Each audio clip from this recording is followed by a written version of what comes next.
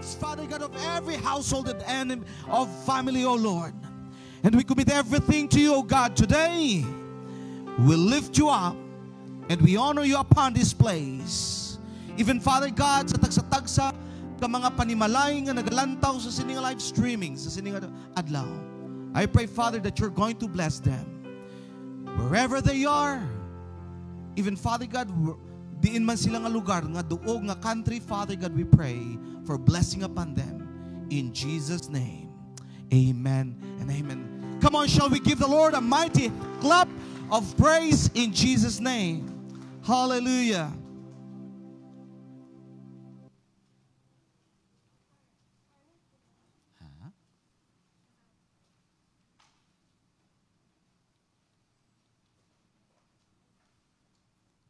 All right. Praise the name of Jesus. Abi palakpakanta na yung Ginoo sa pinakamatunog nga pagpalakpak and shout hallelujah. Praise the name of Jesus. Amen. Dalayaw ng Ginoo nga ari ta diri sa sininga duog, sa sininga tinion. Well, daw ay nagpakigupod ang aton nga nga PowerPoint but we believe that it's more than enough. Happy Father's Day sa tanan-tanan ng mga tatay nga ari diri sa sininga lugar. Do you believe that something good is going to happen in our lives today? Do you believe that today God will do miracle in every household of faith, in every father of the household? Amen. Kag walay uh, butang kag bagay nga sa diin makaupang sa aton sa pagpangalagad sa Ginoo as long as we believe that God is doing things for his glory and for his purpose. Amen. Hallelujah. Now today utod sa Ginoo supposed to be we have this um, a PowerPoint about the Father. Kung imo lang tahon utod sa Ginoo, Father's Day is being celebrated in, in the third Sunday of June. Okay? But sang nagligad nga Sunday, si Pastor Urbinias nag-announce that sa sinila nga Sunday. Okay? But whether kung anuman nga Domingo, when it never falters on the reality that every day is a Father's Day. Amen. Every day is a Father's Day and we need to honor and to bless the house or the man of God sa HDMI. Okay. Now, again. Dali lang ha?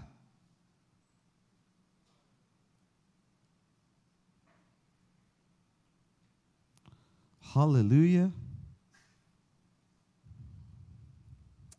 Praise the name of Jesus.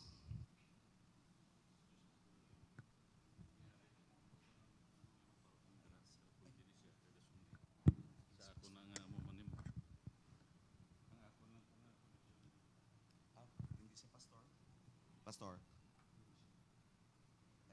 Ang MacBook. Sige lang.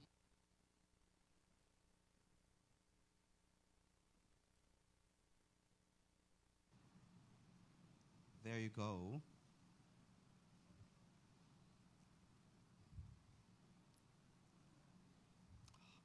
Hallelujah.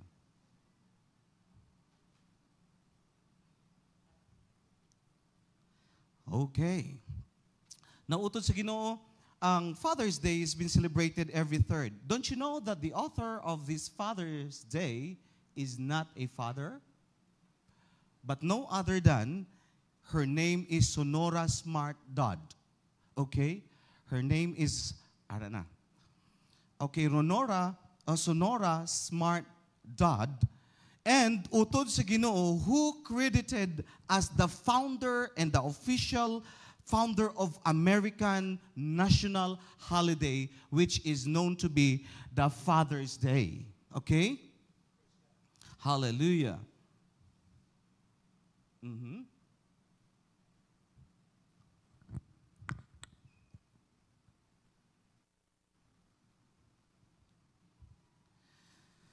Okay.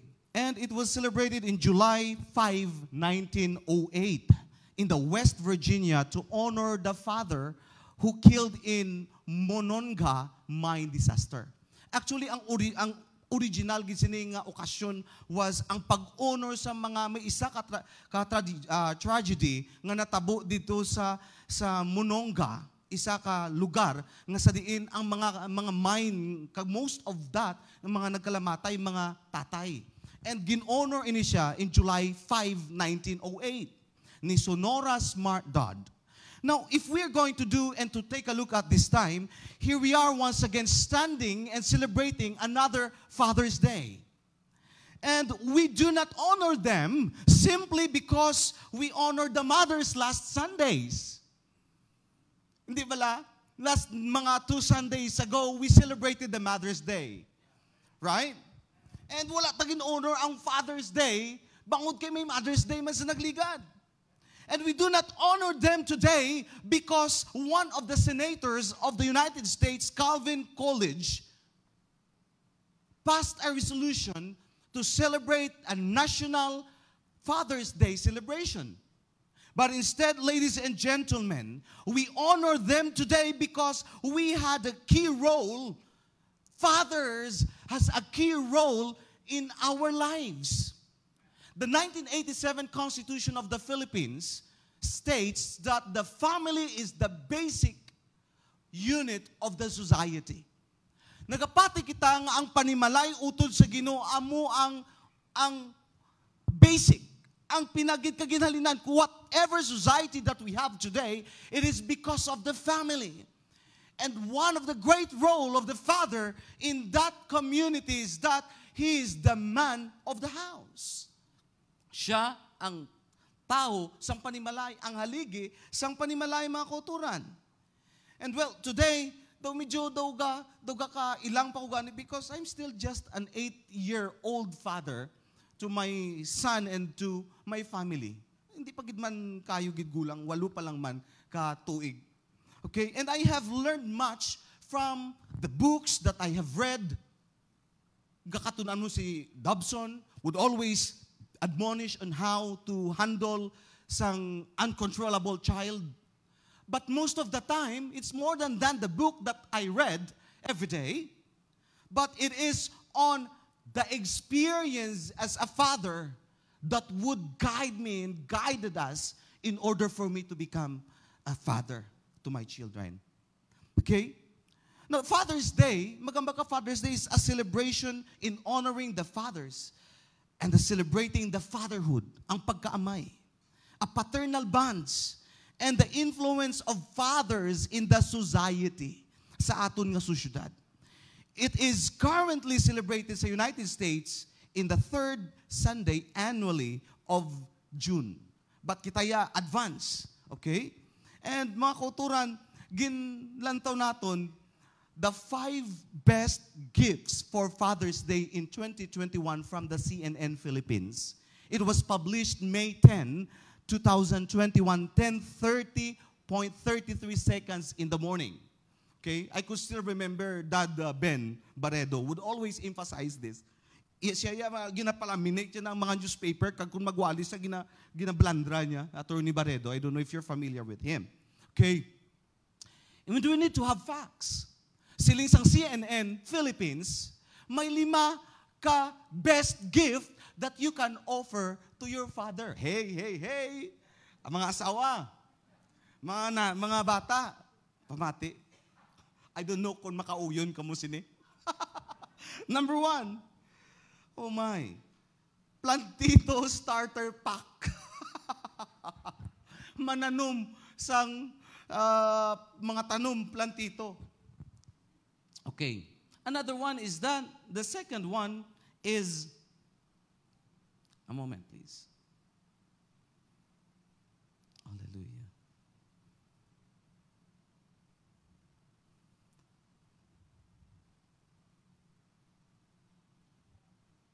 Praise your name, Jesus.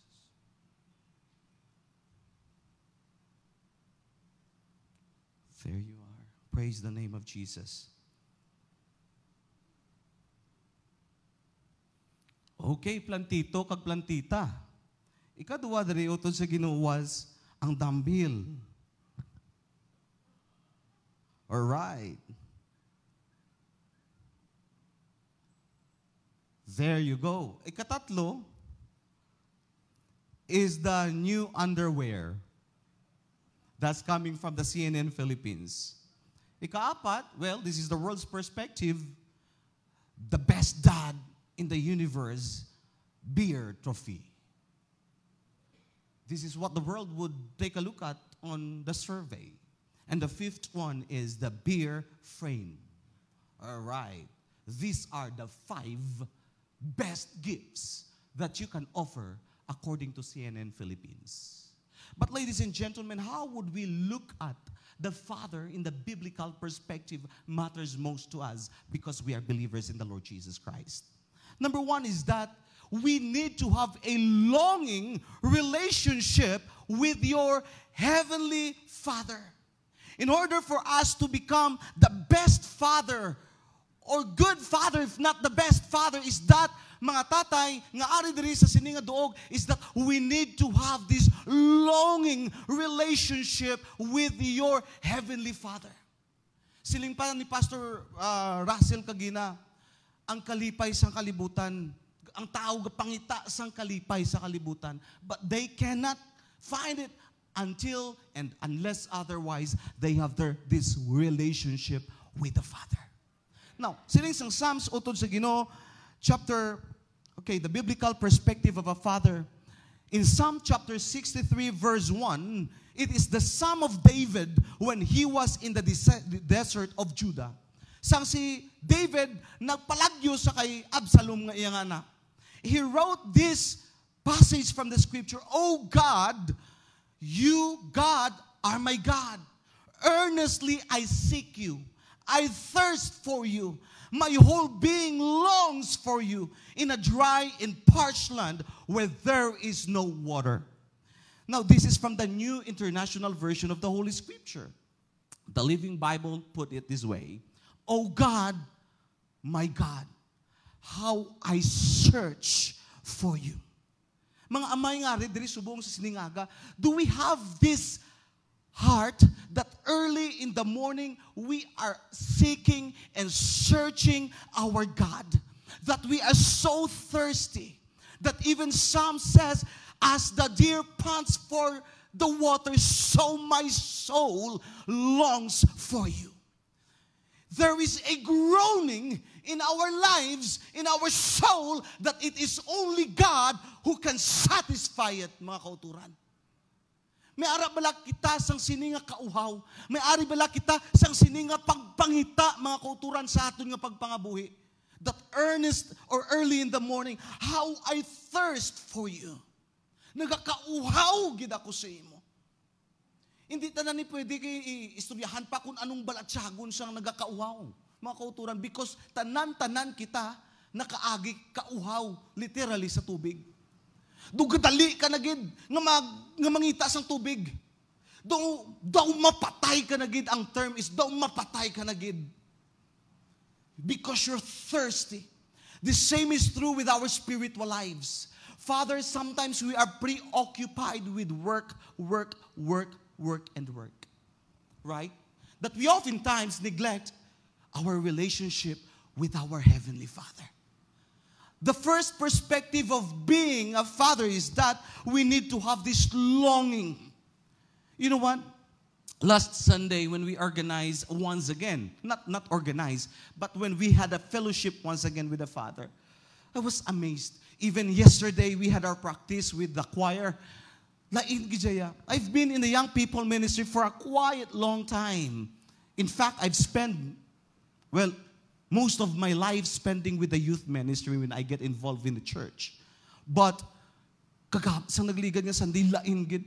Sino ko Pastor Russell, do ginainsulto ko ni Pastor Russell aw. Nga to bata pa sa ako niya nga, nga i-intry ako sa mga tatay diya. Pero nakita ko, ang tatay gali Pastor Binyas, pagkambal, yes, yes dayon. Pag commit, commit dayon, mga babae, ah, sorry lang kamo, dali lang gid bala. Basi bala gusto nito, nyo ko pagpanaog, dali bala sa pulpito bala. Relax. Relax. Amen? But as Father, we need to have this constant searching for the presence of God.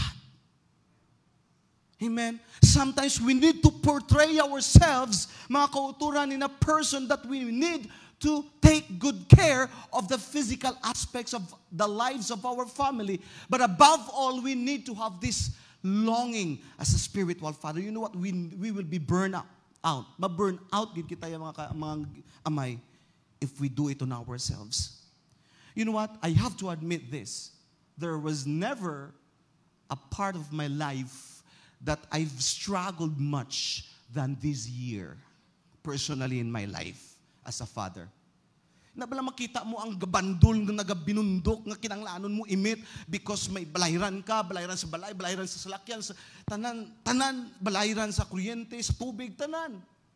And you need to stretch out everything in order to provide the basic needs of your family. In fact, utod sa Ginoo, I even sleep Mag-chat kami ni Pastor Russell kag, kag sa ibang mga pastors kung hindi ko ka-chat, nag-screenshot na lang ko kag ginasend sa ila that I am having that Hello 5 one talk. Tag 9 o'clock, 10 o'clock sang gabi kay ga tudlo pa sa online class para lang masustiniran. But ang pinakamasubo, when we had this encounter yesterday with Tito Eugene, when he reminded me of the fact that we are almost busy for our physical aspects of our family that we forgot that we need to have this longing and groaning relationship with the Father of God, with our Heavenly Father. Amen? And how I long to find you. I don't know, I might be sound OA. I don't know if you could relate on this, husband. But ang pinako ka naive nga nabatyagan is that when I will and when when I will go with my wife at the mall, kakun kay isa ato na nato sa sapiyak, ina balang matyagan ko bala to grabe gid bala sili ko ga ay dunuga ko na intindihan mo ni nabatyagan ko sa imo. Ina balang ato lang to sa sapiyak nga department store do ang longing ko as a husband to to her grabe, I don't know. It might sound OA. Pero amo nang nabatsyagan ko, nga pagka makita mo na siya, daw, biskan damo nga tao do ka namin sa ihakson, that is that longing that we need to have as we worship and as we continue serving our God. Sometimes we are very busy doing for His kingdom, but we almost forgot the King. Every Sunday, we are always emphasized here in this church that Christ is the King, of this church that Christ is the king of our family. But how many hours did we devote ourselves in searching for the presence of God Kaya straight to the point naman eh, hindi ba lagi mga amay, pilaayhan, kaminuto, kag oras, ukon kung kaysa nagalukso na lang ta. We need to have this longing. Another one is that we need to have a learning relationship with your fatherly or with your earthly father. I don't know if it's proper forum for me to tell you that unluckily in the world's perspective I was born in this what we called as that I could not feel the love of my earthly father. That every day of my life personally I've always been tortured emotionally by my father. The way he would deal with my mom, the way he would deal with us. And amo nang pinakabagay nga nainitan ko kag hindi ko gusto nga ihimuon sa akon kung may panimalay nako. Until and un, until such time that I recognize that ang pinamo ka na initan nga pamatasan sang imo nga amay, if you cannot let go of that, and if you cannot, could not forgive your father, the same nga characteristic ang imo man ikahimo sa imo nga mga kabataan. But regardless, our fathers are not perfect. There is no such perfect father here. I don't know if how many of you who are here have experienced the same mantra Basi nakas nasingalan ka sang imong amay. Basi ginsakit ka sang imong amay. Basi nakahambal sa malain ang, ang imong amay sa imo. And hindi mo gid ma-let go ina nga mga mga tinaga ina nga mga ginhimo niya sa imo. But it will only just like be a bones in your closet. But unless otherwise that you need to learn how to forgive and how to love and learning your relationship with your father. My father is naka-live kitabi mo. Kamu yan naakigan lang, guro? Ako yan natayaan. Te? Kasakit. Every day of your life, do hindi ka kapati nga mahimo na niya sa imo. But you know what? When I learn to let go of that hate sa akon nga amay, and that's the time that I felt how I was blessed by God that I have Him as my Father in my life.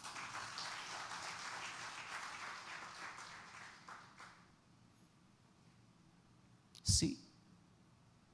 I thank God that He is my Father.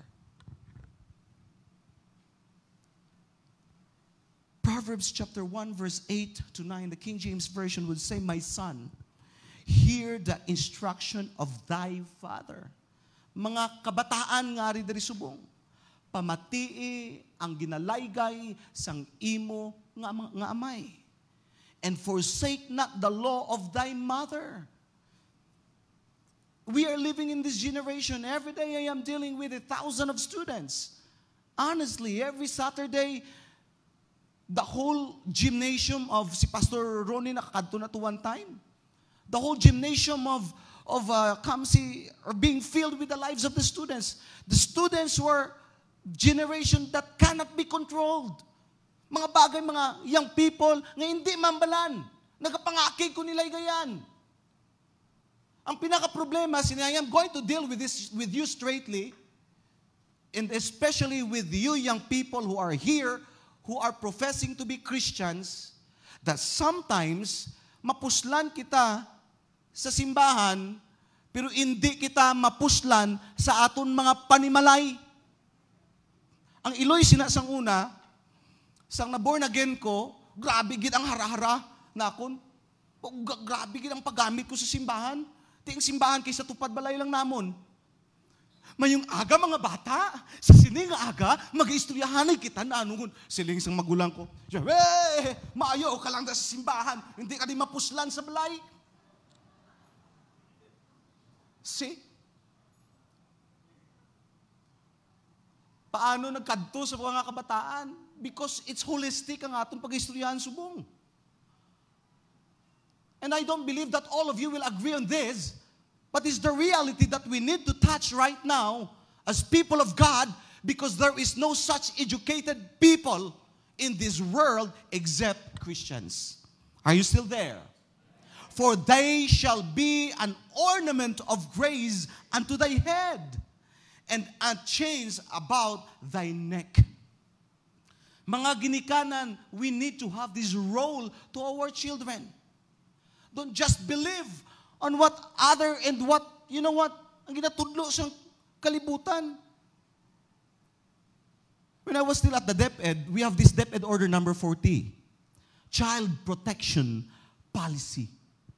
And right now, the same DepEd order number 40 series of 2012 is being implemented in the whole Department of Education to the point that sometimes you just cannot say something that your children would, you know, would be hurt because you might be summoned sa DSWD. But siling sang pulong sa ginoo pamatii ang ginahambal sang imo nga amay kag sang imo nga iloy. Another one, when I was a boy, siling ni Mark Twain, my father is so ignorant. When I was a boy of 14, sang 14 years old pa lang si Mark Twain. My father is so ignorant. Paman, ah, pananawa niya sa iya, may daw ignorante. Gid. And I could hardly stand to have that old man around. But when I got to be with 21, I was astonished at how much the old man had learned seven years. There is a way seems good to us, but at the end is destruction. Proverbs would always reminded us of, of that. Para sa mga young people, para sa mga pamatanon, may mga dalanon nga ginausoy nila, nga abi nila insakto, Kag kung pabayaan mo na, they would think that that is right and that is correct. But at the end of that, until they realized that someday, they realized that they were wrong. I don't know if you're familiar with the song, Nung isilang ka sa mundong ito with Freddie Aguilar, at nang ikay malaki at nang malaki ka na, nais mong maging malaya, di man sila payag, walang magagawa. But don't you know that as Christian, the key still is in us, being a parent, above all being a father. We may never be a perfect father, as what I have said. Number three is that we need to have a long, have a loving relationship with your spouse. Muna pinaka-importante sa aton ng mga amay. What kind of husband we are to our wives? Wives, what kind of wife you are to your husband? Malas manot lang ni mo. ano ka nga klase? But ang pinaka-problema is that most typically, as a Filipino family, we would always have be this predominantly be a father figure that inside the house, ako ang masusunod. Do you regard your wife as your commodity? Ginasing-alan mo lang. Ginasinggitan mo lang. As, you know what, there is no such loving kag manami nga panimalay when this Colossians chapter 3 verse 19 was said. Husbands, love your wives and never treat them harshly. Di man pagsigising-giting imo asawa? Hindi man pagsigising alida ang imo kabataan? Well, I am speaking to myself as well at the same time. In our place right now is got brown out. And kagabi, alas 10 na ko na alas, well, in fact, aga na nagtulog. Of course, upod sini. Pero pinakamasubok was, na-brown out sa aga. And I was thinking that everything was ironed out and uh, the clothes, medyo daw nag, do, inablaw kay isa, we, we're still learning on this. Right? We're still learning. Parents, we're learning on this, especially the father.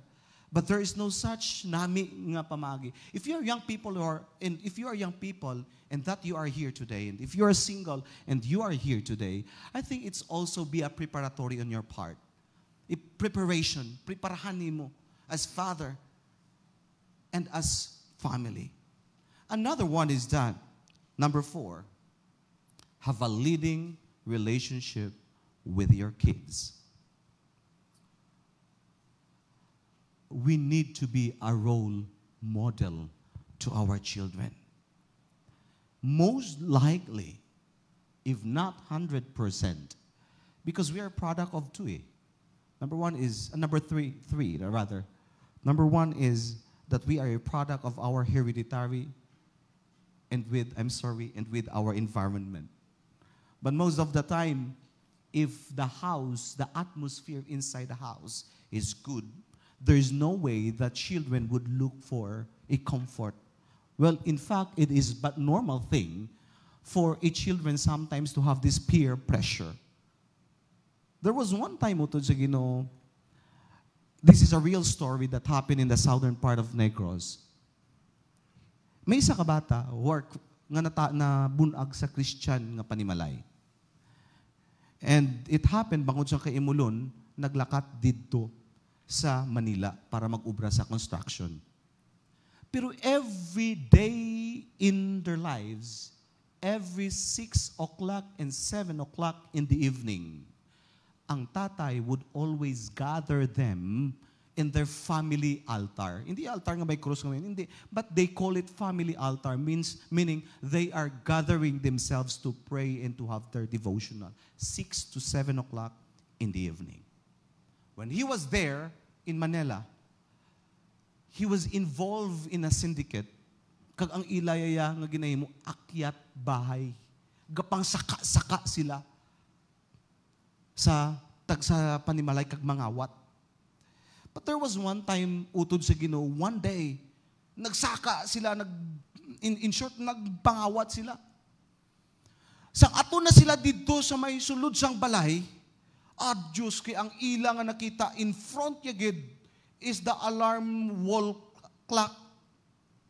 Kag pagsaka niya gid 5.58 and then nagadali-tali sila pangwa, pangita and then it strikes up to 6 o'clock in the evening.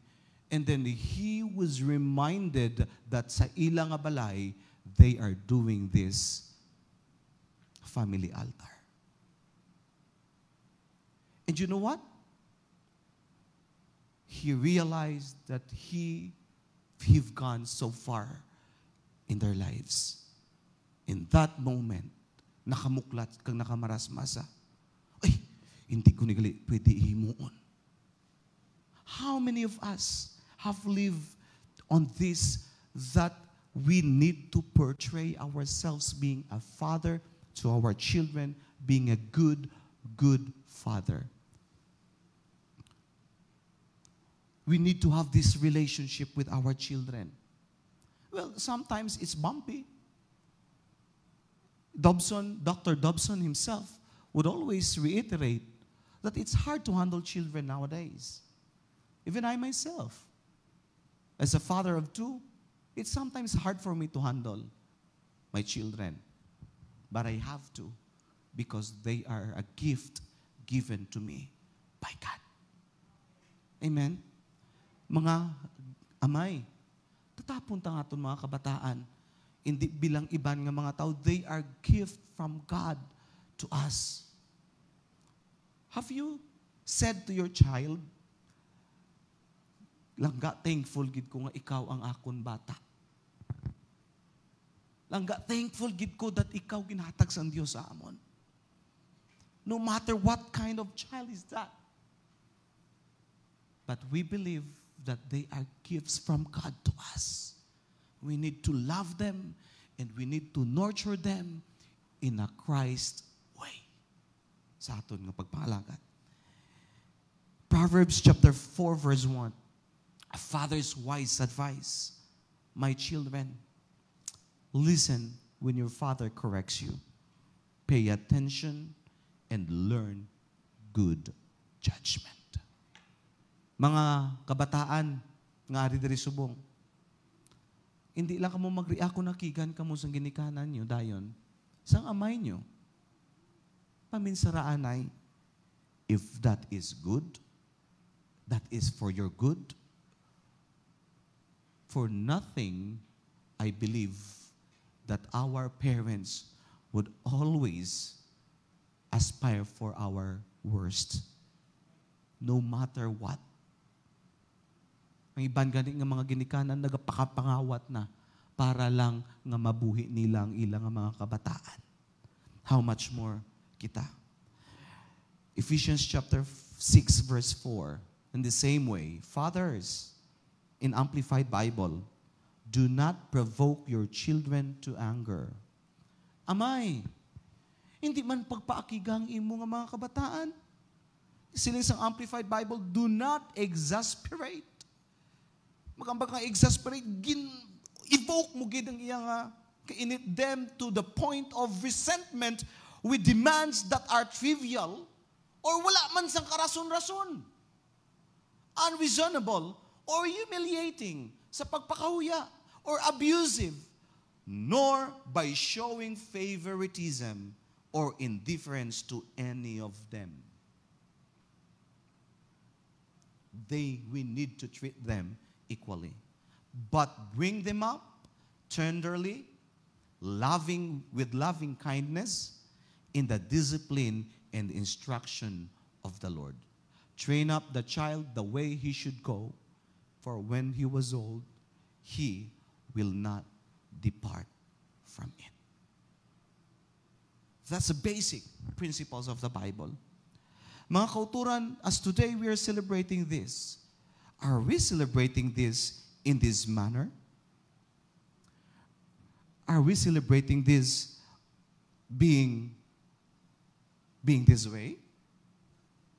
Or are we celebrating this in a biblical perspective of being a father?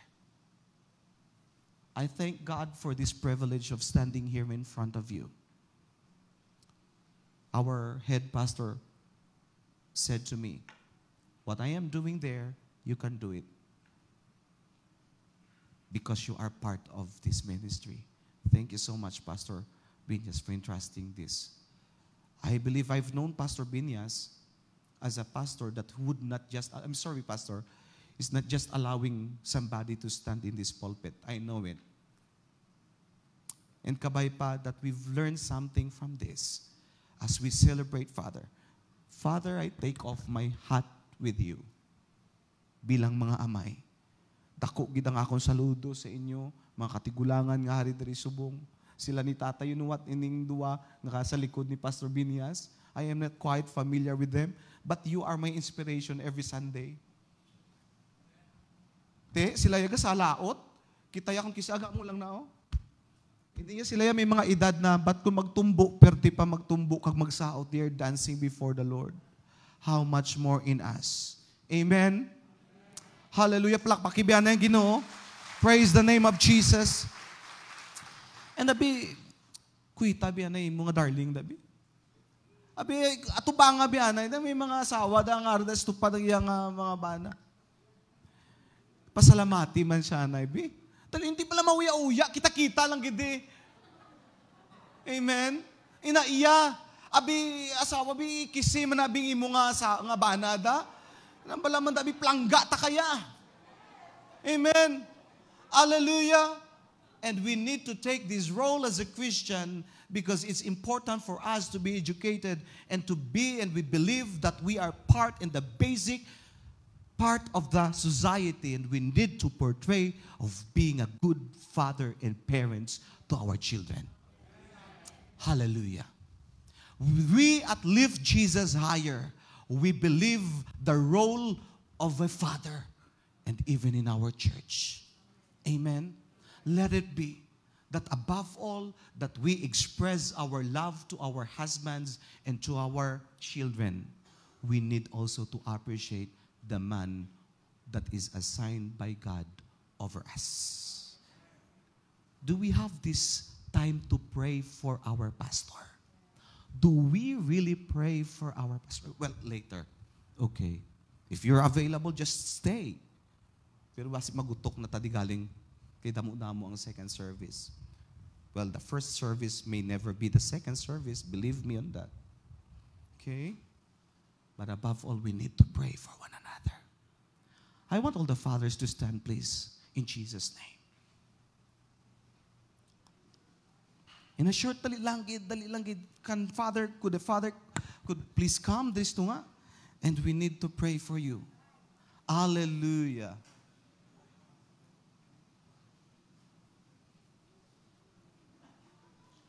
Na iya, pastor kadamo gidi galing tatay sa Live Jesus Higher Main.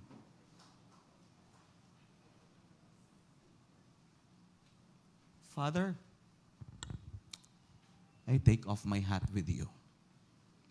Kabudlay magmangin, kahapos magmangin amay, pero kabudlay magpakaamay.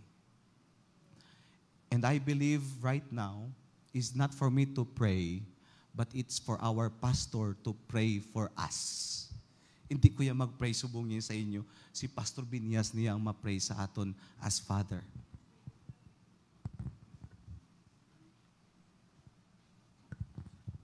Amen. Gid. Palihog tindog tanan. Amen.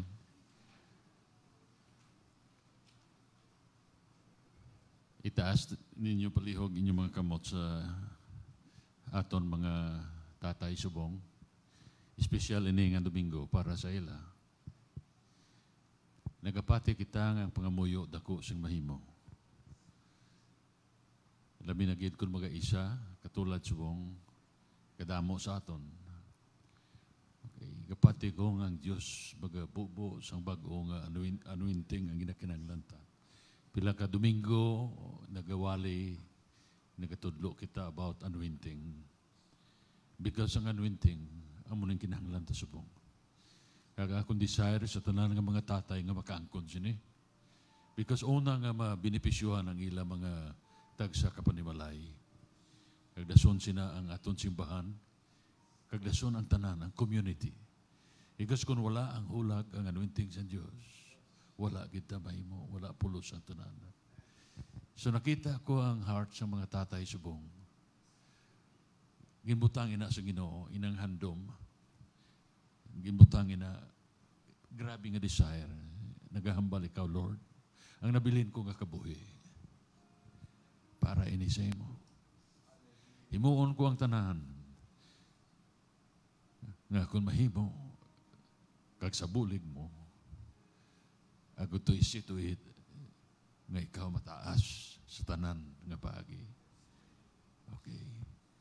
Kag bilang isa ka matutuod nga amay nga magatindog sa prinsipyo sa pulong sa Ginoo, amo ina ang pinakadako nga mahimo siyang tagsa-tagsa sa aton bilang amay. Mahimo talang na, of course, sa nasiling ko na pagi sa anointing sa Diyos. Otherwise, hambal lang, hapos hambal. Pero mga katod sa realidad, kinanglan, maaplikar naton.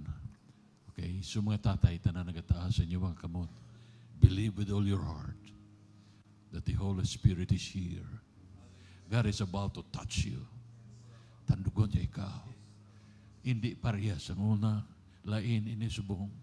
Because, special ini. Ini nga Domingo gindesign sa Diyos para sa inyo. All right. Let's pray. Heavenly Father, thank you. Lord, for the message, Ginoo nga ginbuyan mo sa mo nga. Uh, Thank you, Lord, sa imo alagad nga imo gamit. Lord, nga may tagipusoon sa pagpaubos sa iyang kagalingon na batsyagan namon. And we believe, Heavenly Father, amoy adto mga pulong nakakabagay para sa amon. Thank you for reminding us, Lord, sa pag-correct mo sa amon. Lord, una sa tanan bilang mga amay, nagapalapit kami kag ikaubos sa imo tubangan. Kag Lord, nagasiling kami, Ginoo patawara kami sa amon mga kakulangan. Kadamo sa amon kakulangan, Ginoo. O Dios bilang mga amay. Lord, kakasa ang mga butang, Ginoo, nga ikaw nakitaan mo sa amon tagsa-tagsa nga nagabalabag, Ginoo, sa iyong paggamit kag pagkulag sa amon kabuhi, kakasa ang tanan nga mga butang nga hindi amo sa amon kabuhi. Lord, subong ang imo gahom magakunsan sa tagsa-tagsa sa amon kag Lord ang imo gahom magabulig sa tagsa-tagsa Lord. Ipandong mo ang imo mga kamot sa tagsa-tagsa sa ila. Right now, Lord, in the name of Jesus, release your anointing.